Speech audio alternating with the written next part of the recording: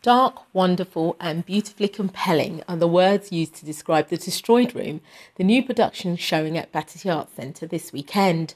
The inspiration for the play has been taken from Jeff Wall's famous photograph, which shows a ransacked room where every item of furniture is destroyed. And although the centre's roof was badly damaged in a fire last May, it has not stopped performances from going on. So, what exactly will audiences make of three people sitting in the middle of a stage to discuss world events? It's interesting because people take different things from it. So, so like for example, somebody was criticising it, saying, "Oh, it's just three middle class people talking about you know and not doing anything," and then somebody else will say, "Yes, that's why I like it."